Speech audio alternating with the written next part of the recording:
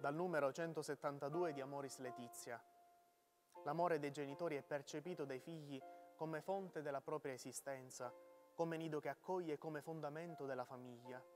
Se così non fosse, il figlio potrebbe ridursi ad un possesso capriccioso.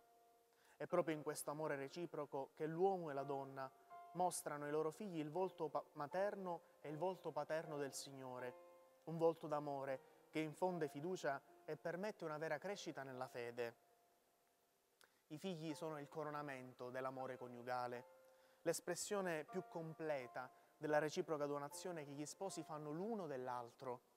In questo senso gli sposi, il padre e la madre, diventano cooperatori dell'amore di Dio, creatore, e quasi suoi interpreti, come afferma Papa Francesco.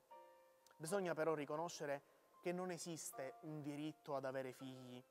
Questi rimangono un dono preziosissimo e assolutamente gratuito che Dio concede agli sposi che decidono di aprirsi alla vita e di diventare suoi collaboratori nell'opera della creazione.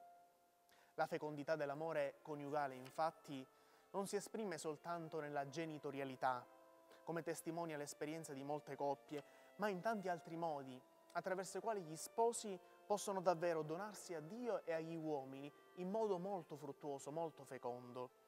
I figli rimangono sempre un dono ricevuto e un dono da condividere e per questo il Papa mette in guardia i genitori dal considerarli un possesso capriccioso. I figli infatti esigono di essere accolti con amore, amore che i genitori sono chiamati a donare loro per tutta l'esistenza, soprattutto nelle fasi iniziali della crescita e dello sviluppo.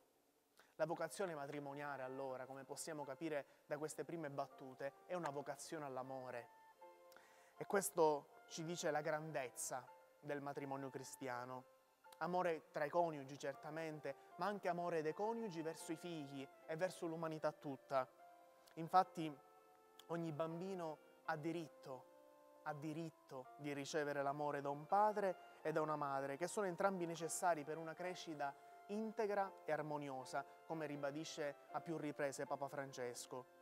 È chiaro che sfida, la sfida dell'educazione rimane una tra le più difficili e impegnative che i genitori sono chiamati a vivere, però bisogna riconoscere che il punto di partenza è sempre e soltanto l'amore, un amore che non è mai buonismo che giustifica tutto. Attenzione, si tratta piuttosto di un amore maturo che sa discernere i momenti dell'abbraccio e i momenti del rimprovero.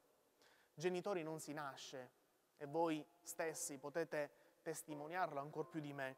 Per questo il modello degli sposi rimane sempre l'amore paterno e materno di Dio, che proprio perché ama di un amore eterno non manca di correggere e di richiamare i suoi figli nella via della vita.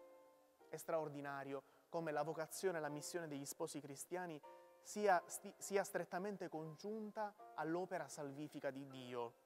Lo abbiamo visto nel video precedente, dicendo che gli sposi sono associati in modo veramente stretto al mistero della morte e della resurrezione di Cristo. Ecco, a volte si pensa che solo il sacerdote o i consacrati ecco, vivano in modo particolare, in modo profondo questa cooperazione al progetto salvifico di Dio. Gli sposi cristiani lo fanno in modo straordinario in modo assolutamente eccellente. Dobbiamo aggiungere infatti che anche attraverso l'amore tra di loro e verso i figli, sono collaboratori dell'opera di Dio. L'amore che naturalmente e spontaneamente si danno l'un l'altro e danno ai figli, infatti, non solo permette a loro di essere co-creatori insieme a Dio, ma addirittura questo amore, ascoltate bene, è lo strumento privilegiato per la trasmissione della fede in famiglia, un punto cruciale soprattutto in questo periodo. Ci si interroga tanto su questa cosa. Come possono i genitori trasmettere la fede ai figli, soprattutto in età adolescenziale, quando questi si rifiutano e rifiutano di ascoltare qualsiasi cosa che abbia a che fare con Dio e con la Chiesa?